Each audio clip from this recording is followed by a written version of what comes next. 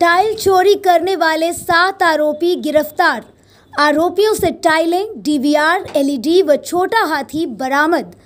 Police थाना चाटीविंड के SHO ने बताया कि पिछले दिनों बाबा मार्बल से चौकीदार को बंदी बनाकर करीब चार लाख रुपए की टाइलें लूटने वाले चार दोषियों को गिरफ़्तार किया गया है, जिनके कब्जे से डीवीआर, एलईडी टाइलें और छोटा हाथी वाहन बरामद किया गया है। इस केस में चार लोग अभी फरार हैं। आरोपी छोटे हाथी वाहन पर आसपास के गाँव में लूटी हुई टाइलें बेच